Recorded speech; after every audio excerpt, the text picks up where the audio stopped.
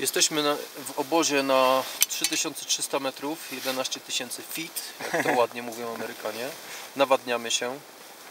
Niestety reszta grupy do nas dzisiaj tutaj nie dojdzie. Zostali na przedobozie. Yy, No, mają mniej więcej pół godziny drogi do nas. Przeciera się ładnie słoneczko, pada śnieg, ale ogólnie w namiocie dosyć ciepło. Michał bardzo zadowolony. Pokaż co tam na zewnątrz. Jest ok.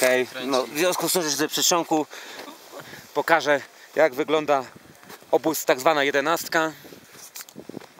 Tak to mniej więcej wygląda. Dużo ludzi całkiem. Tam do góry widać ludzi, którzy nie wiem, albo wschodzą, albo wchodzą do na- następnych obozów, albo z następnych. No a tak się przedstawia właśnie tak dookoła. Tu nasza flaga polska wspaniale powiewa na wietrze. Pokazujemy skąd jesteśmy.